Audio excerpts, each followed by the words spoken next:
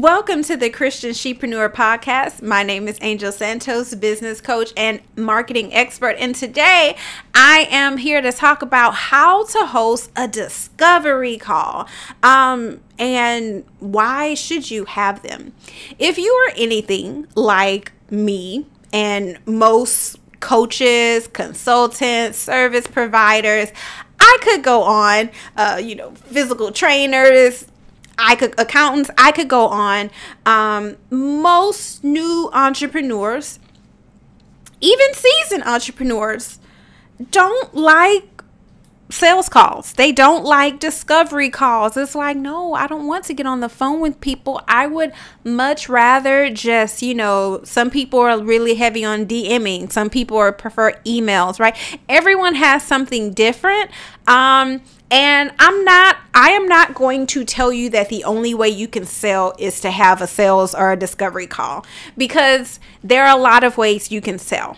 What I will tell you is that short of in person connection, having a call with someone, whether it's on the phone or a Zoom call, but having that real time connection with someone where they can get a feel for you, where they can get their questions asked in real time, where you can see if it's a video call, how they're responding, you know, if they're saying one thing but something else is going on. Short of being in person and meeting them and talking with them, an online call is the next most effective way of that type of communication. Now, are there ways to replicate that process? Yes, there are. But we're not getting into that today. Today, we're getting into how to do a sales call. And I want to get into this because um, I've, you know, this is year five in my business as a coach. And um, I've tried a lot of different things, right? I've used scripts um, that worked, I've used scripts that didn't work. I um, have freestyled it.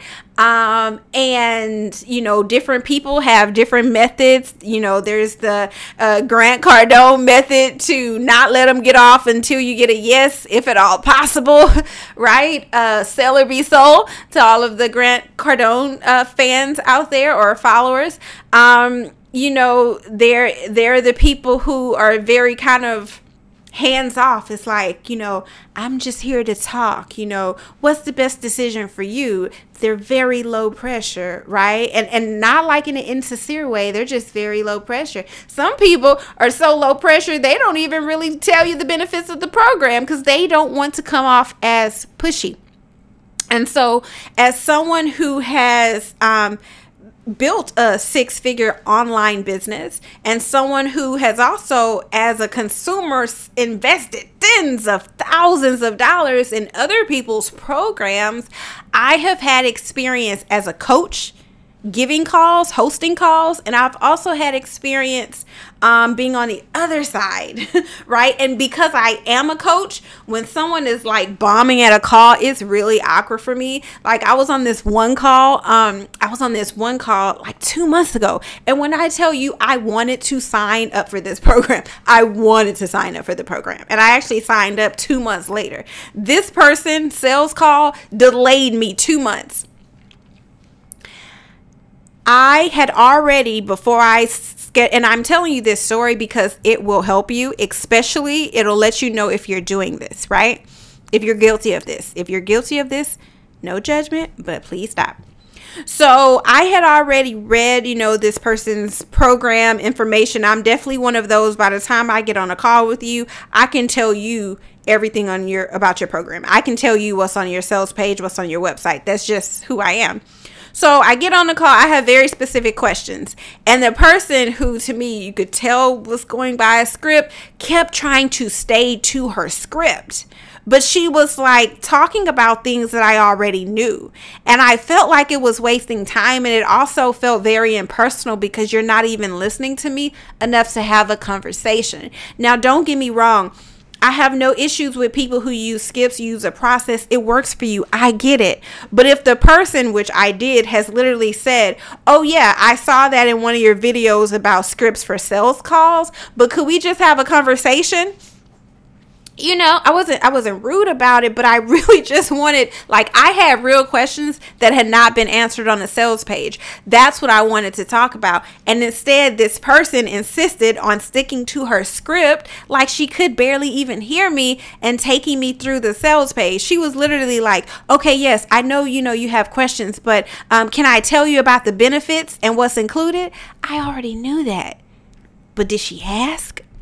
She didn't so don't do that. Before I get into how to do it, let's talk about how not to. Don't get so involved if you're going to use a script that you're not listening to the person right? If the person says, I don't have a lot of time, and you know your script takes 90 minutes, maybe you say, Hey, okay, you know, for this to really be effective, we need about an hour. So would you like to reschedule? Does that make sense? Or if you're going to shorten it, have a way to shorten it. Don't still try to slow them down and they're obviously kind of in a hurry. Um, so that's the first thing is do not stick to a script so closely that you can't actually listen and have a conversation. And the second thing is to be a human, which to me still goes back to the first thing. Like when you are talking to a friend, right? Which to me, that's how you should approach sales and discovery calls. If you are talking to a friend, you have your friend's best interest at heart. Let's say because all a sale is, is convincing someone of something, right? You sell all the time, more than you realize. If you've convinced your husband or your children to go out to a restaurant or to take a vacation at a place you chose, or if you've convinced a friend recently to, uh, you know, try a brunch place or read a book you read, or you told someone all the benefits of this massage place you went to, and you like, oh no, you gotta try it. They did this and this and this, and it helped me so much because this, this, and this, and yeah, the price was this, but you know, we deserve it. You're selling. You're selling. You're convincing them of an idea that you have, right? You're confident because you believe it. That's all a sales call is at the heart of it, right? Now, let me tell you, a lot of times I feel like people hype it up into way more because, again, they want you to buy their ten and twenty thousand dollar program where they're going to teach you the same foundational principles that I'm telling you now.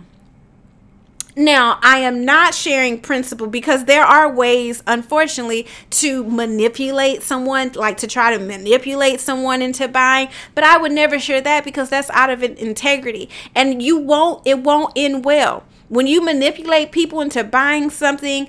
Um, normally, they're not happy with the product. And so they're not going to give you a review and they're just going to spread their experience with other people.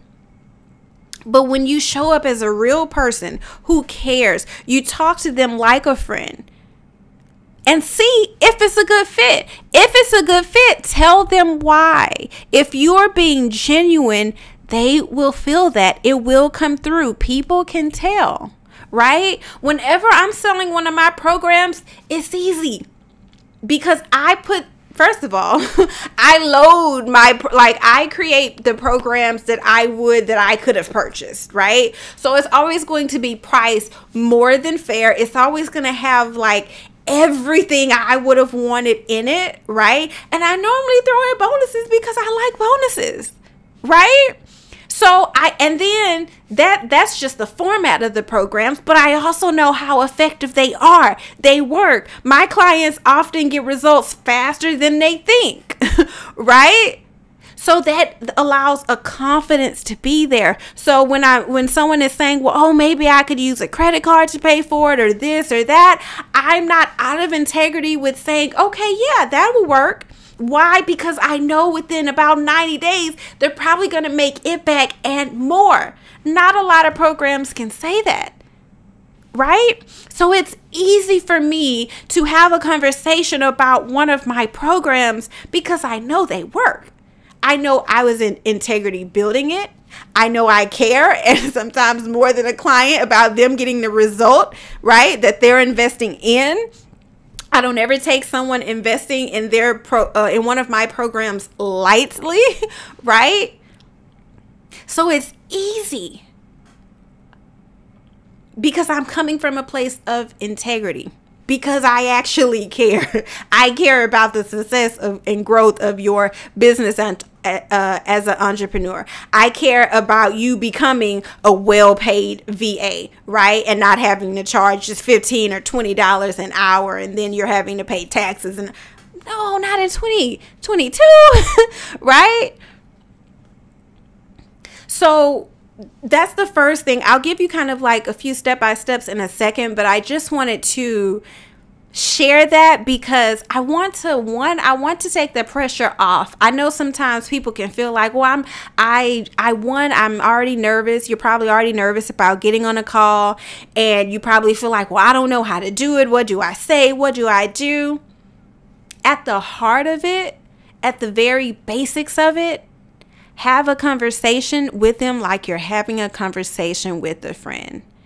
Most of us are advocates, right? If we are trying to convince a friend of, like, uh, let's just say a health program because we know that their health is declining and we, we've we've experienced a program that we know will help them. We care. If they say, oh no, I'm not really interested, we're probably going to push because we care because we're willing to seem a little bit pushy for them to get better, right? It's the same principle. So, the first step in having a discovery call, and this really does start before the actual call, the first step is to 100% believe in your offer believe in what you're selling. If you do not 100% believe in it, then you need to revisit it. If you are shaky, if you're not confident about something, you need to revisit it. Don't get on a call and um, try to convince someone to buy something that you're not convinced of already. It is imperative that you are sure you you know this is it's a good deal, it's worth it, it's going to work, it's going to help them. You be sure first because if you're not sure, they won't be sure, right? So you be sure first. And if you're not, no shame, but let's revisit it first before we get on these calls, right? You want to be sure about the price. You want to be sure about what it includes. And that's not to say your price needs to come down. Maybe you just need to do some work to really uh, get com- uh, comfortable and confident about your pricing, right? But be sure and be confident, right? Come from a place of integrity. Be 100% convinced. The second thing is be clear. So after you're sure, after you're convinced um, that it's a great product, be clear on the benefits, on how it's going to transform and change their lives right? If you're anything like I was in, you know, 2016 and when I first became a coach and even in my business, my nonprofit before 2016, when I would talk to people, I would tell them about the things that nobody cared about, unfortunately, but it's true. Nobody cares that it comes with, you know, at the beginning, most people, most people, the nerds like me, we care a little bit, but most people don't care about the process. They don't care about the how. They're not as, what I mean by don't care is they're more interested with how it benefits them than what it includes, right? It's great if, you know, you're going to create a website that's going to have the SEO built in and they're going to have, you know, two contact pages and three custom coded HTML page, right? Did I lose you just now? Cuz you're losing people. what people are concerned about. The benefits of a website is not the actual website. The benefits are they'll be taken seriously as an entrepreneur. The benefits are they'll be able to charge online. The benefits are they'll be able to be found on Google and get more clients. Those are the benefits. The, the website being Kajabi or WordPress and having the latest graphics and being encoded with, you know, that no, that's not the benefits and you might be excited about what you're selling and the how and the process and the features, but don't lead with that. Make sure you're super clear on what the benefits are in their language, right? If you know you're trying to get a friend to go see a movie and they're not big into action, but they're really big into like maybe the storyline of the relationships, the movie might have action in it, but what you're going to tell the person, oh, yeah, so such and such, and they meet in this coffee shop and then they talk and then they exchange looks, right? You're going to lead with the part that's going to hook your friend. Same thing in this conversation, you're going to want to lead with the benefits because that's what they want. That's what they're coming to you for. They're coming to you for a reason, they're coming to you for help. And they can't get the help, they can't get the transformation if you don't make a transaction.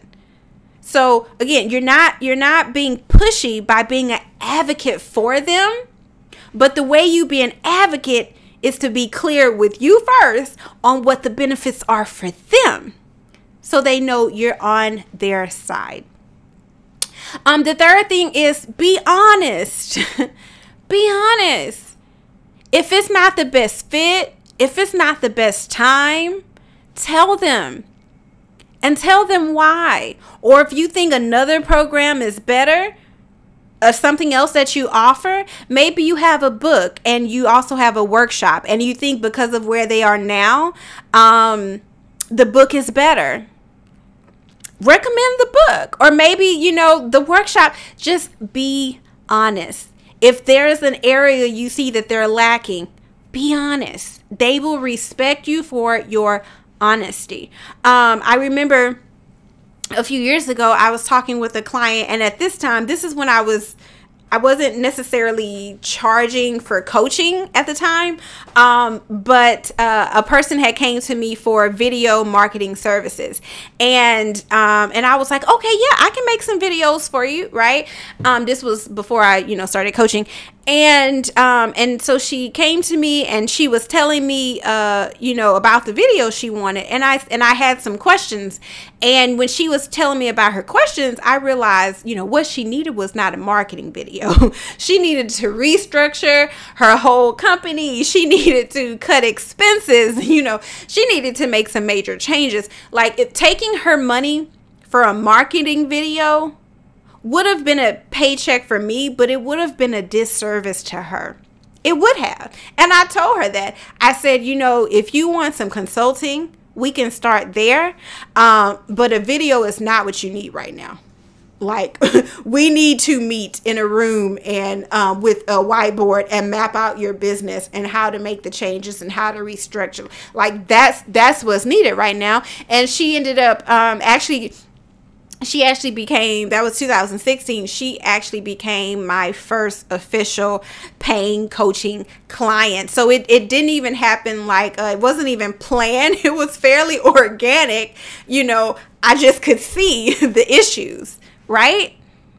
But even if she hadn't like if that had went a different way Perhaps she hadn't assigned it up for my coaching program, but I didn't take her money and she went and hired someone else for the video she would have came to that realization on her own because how things were set up that video wasn't going to help her right? So at least you know perhaps in her future if it had went a different way maybe she would have looked me up then and had more respect for me than someone who will just sell you something because they want the the short-term sale instead of that long-term relationship. So do be honest and the fourth thing is is don't be so, you know, don't be afraid to advocate.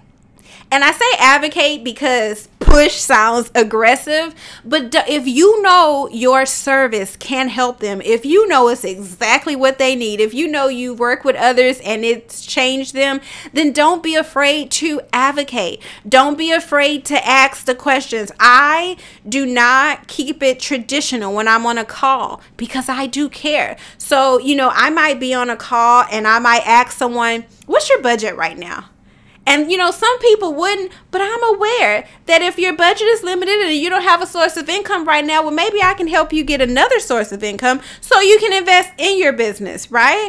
Um, I, I, if, if God puts a certain question in my heart, I will ask it. I will ask, you know, if it's okay, can I ask you this? I'm not afraid to get personal because first of all coaching is a very personal relationship i'm not afraid to get personal during a call so that the questions you ask might change based on your industry, but if you hear a question pop up in your head, or God gives you a question to ask them, and you think, oh no, it's not on my script, or oh no, that's going to sound strange, there's a reason that question is popping up.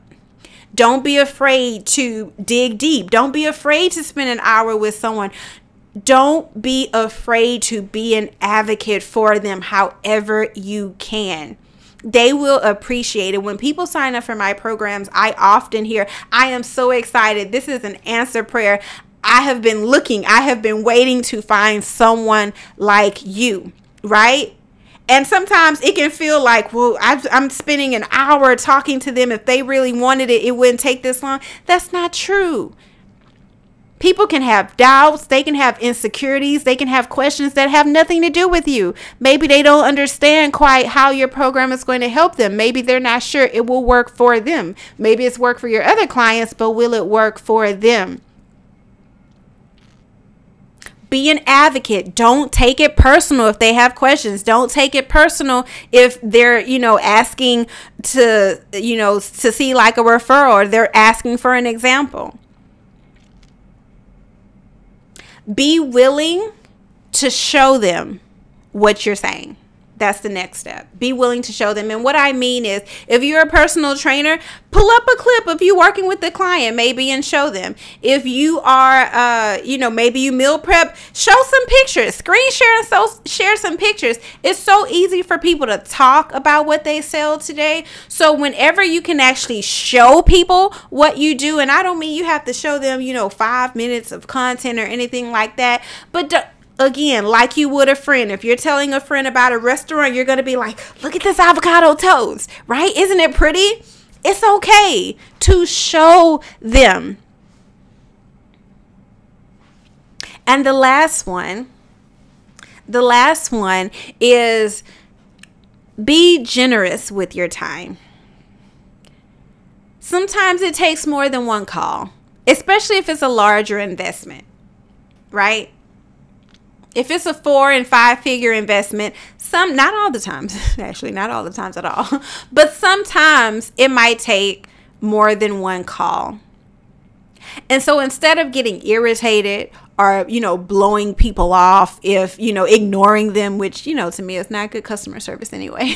but instead of just kind of feeling like, well, if you're not convinced, you know, then I'm not for you. If you're not a full yes, then I'm a full no which to me can be coming from a place of ego, be an advocate.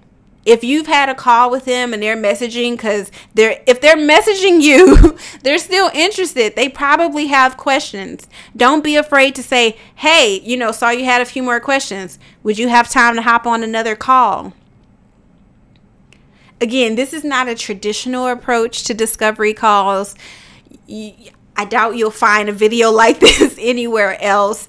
But as someone who has who works exclusively, um, you know, with women, as someone who has taught in person hundreds of um, entrepreneurs, as someone who has taught marketing to tens of thousands of online entrepreneurs, as someone who has built a six figure business from the ground up, which all things I'm so grateful to accomplish.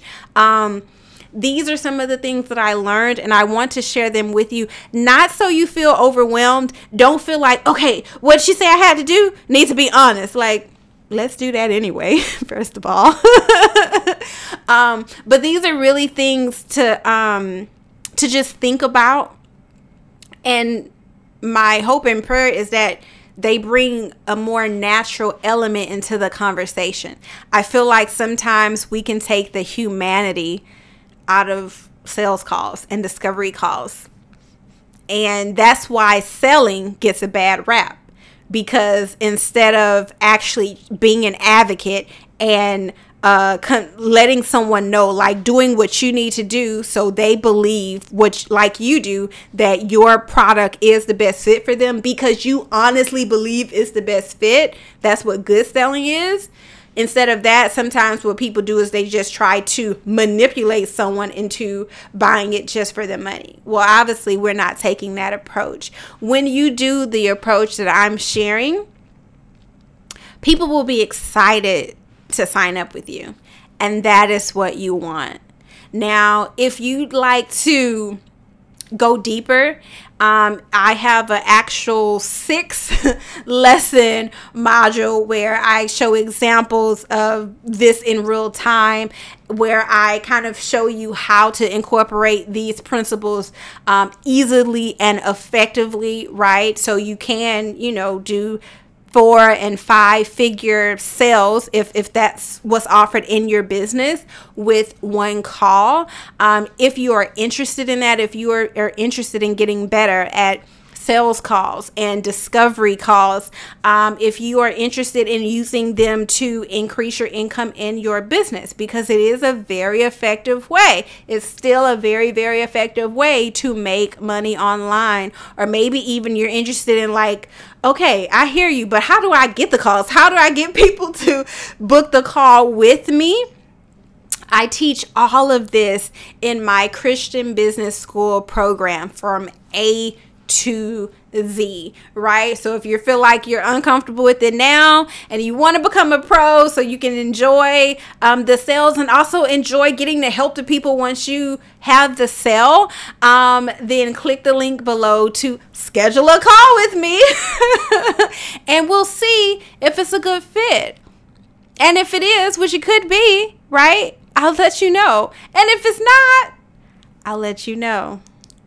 Right? Thank you so much for watching. And if you have any questions, please leave them below.